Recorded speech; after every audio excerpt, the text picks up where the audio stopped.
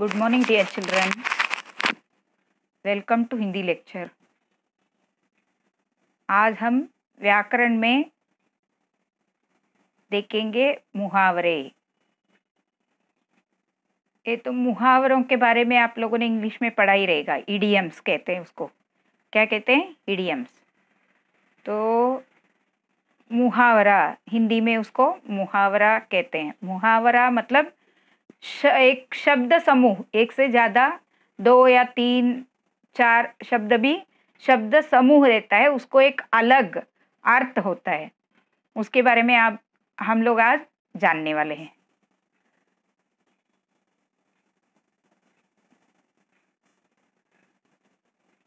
देखो।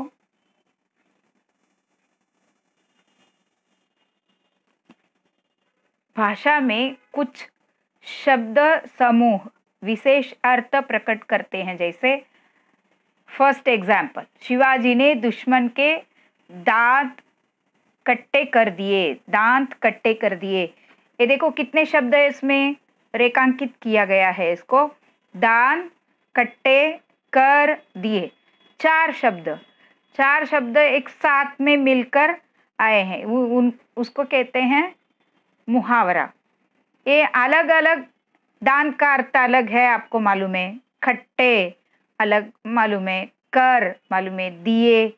इसका पूरा मिलकर अर्थ अलग होता है।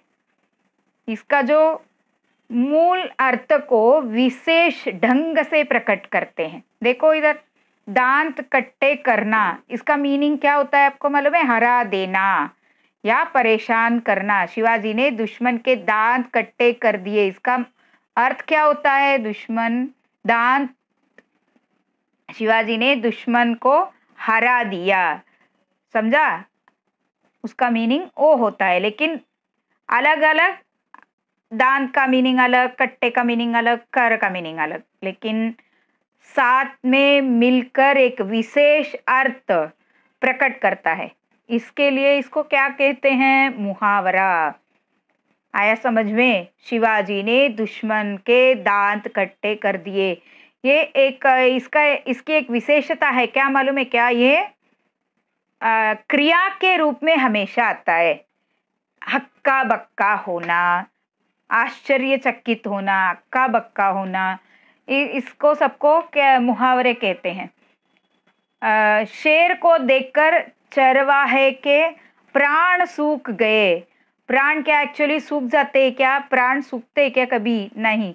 उसका अर्थ क्या होता है? बहुत डर जाना, डरता। शेर को देखकर चरवाहे डर गया।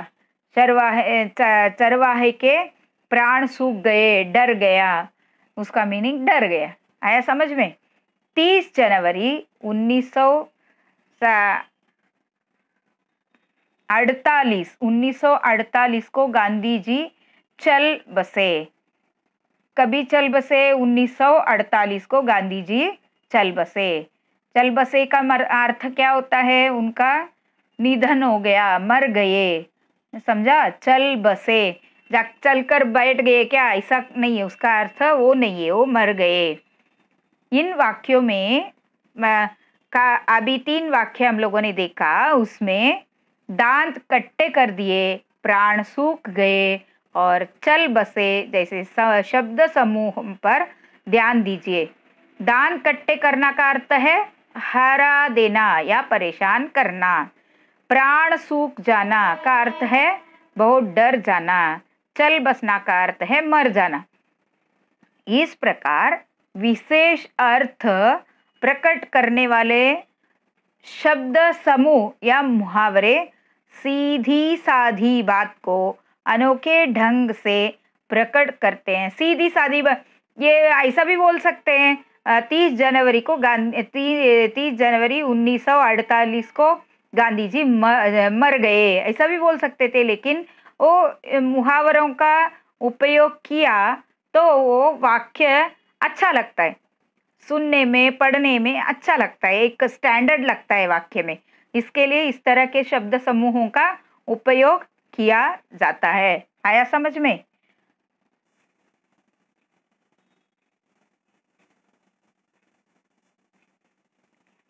इसकी परिभाषा क्या है? मुहावरों का परिभाषा। मूल भाषा में मूल अर्थ को विशेष ढंग से प्रकट करने वाले शब्द समूह को मुहावरा कहते हैं।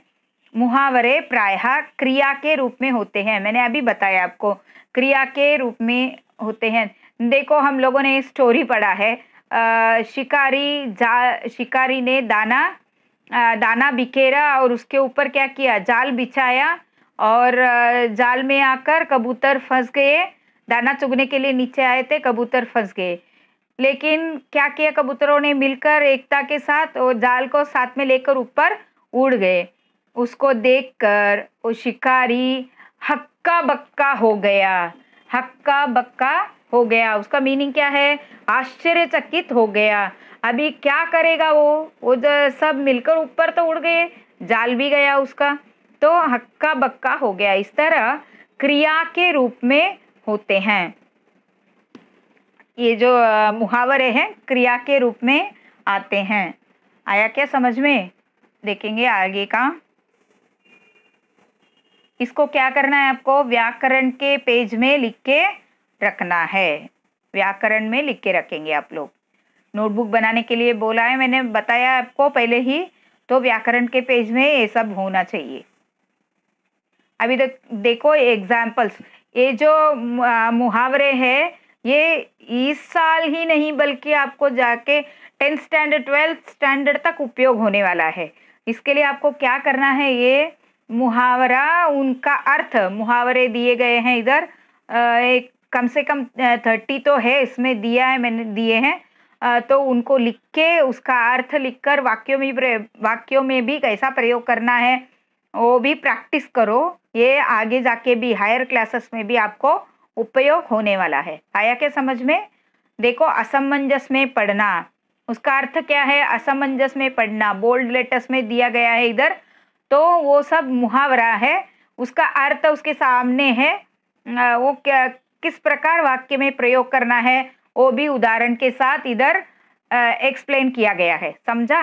असमंजस में पढ़ना, अर्थ, उलझन में पढ़ना। कभी कभी बुद्धिमान लोग भी असमंजस में पड़ जाते हैं।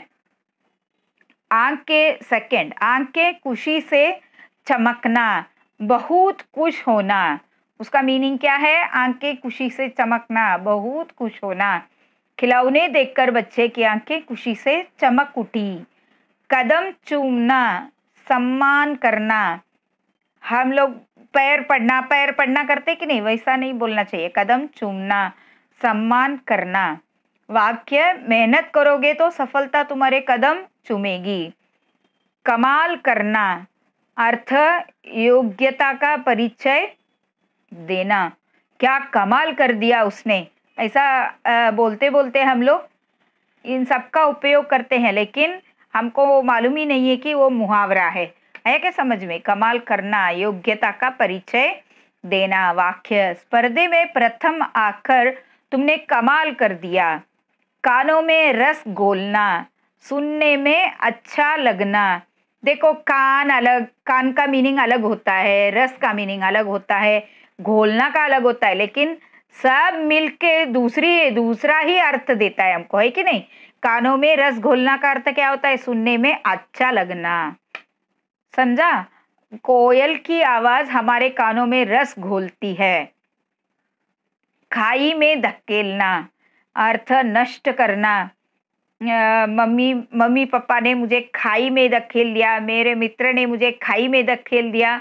आ, मुझे किधर भी एडमिशन ले लिया ऐसा सब हम लोग बोलते बोलते बात करते हैं। आ, लड़की बोलती है मम्मी पापा ने देखा नहीं है वो लड़का कैसा है मुझे खाई में धकेल दिया। उसका अर्थ क्या हो होता है नष्ट हो नष्ट करना। कुछ वैज्ञानिक आविष्कार विश्व को विनाश की खाई में धकेल रहे हैं। कुछ वैज्ञानिक आविष्कार विश्व को विनाश की खाई में धकेल रहे हैं। नेक्स्ट। ये सब आपको नोटबुक में लिख के रखना है। सेवन। खाली हाथ आना कुछ भी न लेकर आना। आज तुमने रुपये लौटाने का वादा किया था फिर आ, खाली हाथ आ गए? खुशी का ठिकाना न रहना बहुत प्रसन्न होना। इनाम पाकर मेरी खुशी का ठिकाना न रहा। खुशी में झूम उठना, उसका अर्थ क्या है? बहुत खुश होना। वाक्य अपने मनपसंद गीत सुनकर मैं बहुत खुश से झूम उठा, खुशी से झूम उठा। गले लगाना, प्रेम से मिलना। गांधी जी ने दीन दुखियों को गले लगाया। गर्व होना, गौरव का भाव होना। हमें अपने देश के सैनिकों पर गर्व है। गुल मिल जाना, एक हो जाना। वाक्य कुछ ही दिनों में मैं अपने नए साथियों के साथ गुल मिल गया। थर्टीन चने के झाड़ पर चढ़ाना, झूठी तारीफ़ करना, ये बायहाट करके रखो आप लोग, आया क्या समझ में? ये इंपॉर्टेंट है बायहाट करके रखना है आपको। जो योग्य न हो उसे चने के झाड़ पर क्यों चढ़ाते हो? फोर्टीन। चारों खाने चारों खाने चित्त हो जाना, पूरी तरह पराजित हो जाना। वाक्य, कुश्ती में रामदेव ने ऐसा दाव मारा कि रामदेव चारों खाने चित्त हो गए। चित्त हो गए, चारों खाने चित्त हो जाना। क्या अर्थ है? पूरी तरह पराजित हो जाना। देखो, पूरी रामदेव चारों खाने चित्त हो गया। मतलब परा, पराजित हो गया, हार गया।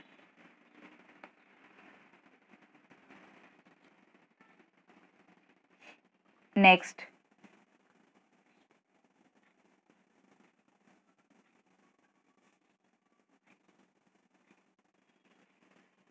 फिफ्टीन चाँद को शर्माना, बहुत सुंदर होना। तुम्हारी बेटी तो चाँद को भी शर्मा रही है। देखो सिक्सटीन चेहरे में खुशी भरना, सुख देना। छोटी सी मदद भी दुखी आदमी के चेहरे में खुशी भर देती है। चक्के चुड़ाना अर्थ, फैस, हौसला फस्त करना। रानी लक्ष्मीबाई ने दुश्मनों के चक्के चुड़ा दिए। जी जान से प्रयत्न करना। हर संभव उपाय करना। लोगों ने आग बुझाने के लिए जी जान से प्रयत्न किया। 19 जीवन पथ पर बढ़ना, उन्नति करना। विज्ञान के कारण आज हम अपने जीवन पथ पर बढ़ रहे हैं। जुट जाना, काम में लगा लग जाना। सभी लोग विक्रम सिंह के प्रचार में जुट गए। यही लिखना है, ऐसा कुछ नहीं है। आप लोग अपने मन से वाक्य में प्रयोग कर सकते हैं एग्ज़ाम में ओके अपना ही टेक्स्ट बुक में मुहावरा, हर लेसन के पीछे देखो समानार्थी शब्द है, उसके नीचे मुहा, नए शब्द करके दिया गया है, उसमें मुहावरे भी है, कहावतें है। टप्प पड़ जाना, अर्थ क्या है, रुक जाना। बंद हो जाना। देखो आज के न्यूज़ में क्या आया? बीज खंडित होने के कारण रेलवे ठप हो गया है। इस तरह के आ, समाचार सुनने को मिलता है हम लोगों को टीवी पर। आया समझ में टप पड़ जाना रुक जाना बंद हो जाना। वाक्य सेठ जी सेठ जी के जाते ही उनका सारा कारोबार टप पड़ गया। तह, तहस नहस करना, अर्थ नष्ट करना। समुद्री तूफ़ान ने उस छोटे से गाँव को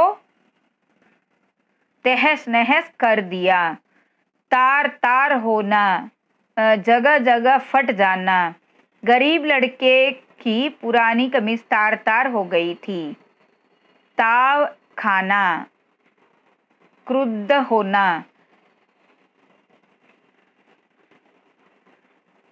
वाक्य, जरा सी बात पर तुम ताव क्यों खा रहे हो? दावपेच लगाना, चाल चलना। वाक्य दावपेच लगाकर उसने प्रतियोगिता जीत ली।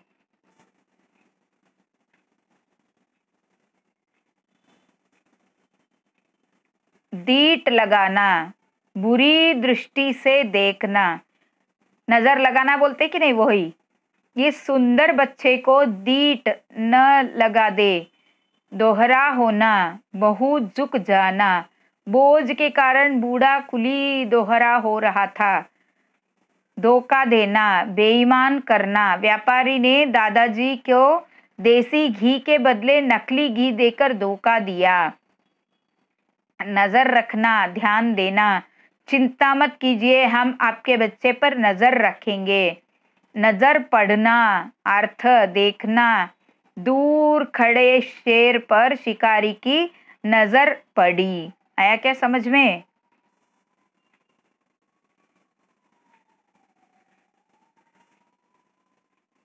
देखो, नाक कट जाना, बेइज्जती होना, बेटे को चोरी के जुर्म में जेल को जाने से सेठ जी की नाक कट गई। आया क्या समझ में? नाक कट जाना, बेइज्जती होना।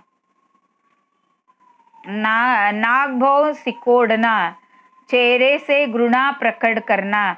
भिखारियों को देखकर सेठ जी नागवों बिखोड़ने लगते हैं।